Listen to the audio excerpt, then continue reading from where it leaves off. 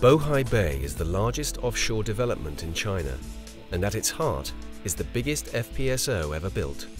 Fluor have played a major role in the design and construction of this FPSO, as well as six wellhead platforms and associated pipelines.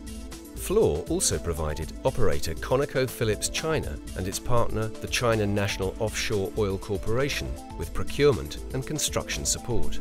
It's a massive project, and one of the main challenges has been to maintain consistent standards of operational excellence across a range of work fronts. At peak, uh, we needed uh, over 650 engineers and designers. So we engaged our Manila office as well as our Shanghai office, and the teams in uh, Fluor, Houston, and Manila and Shanghai did an outstanding job. Fabrication was done in seven different yards. The hull was being engineered in China.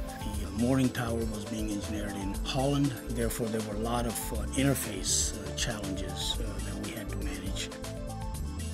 Despite all these challenges, by October 2008, the Bohai Bay FPSO was ready to sail away from the Sembawang shipyard in Singapore. A few weeks later, it was on site and ready to be hooked up to the mooring tower.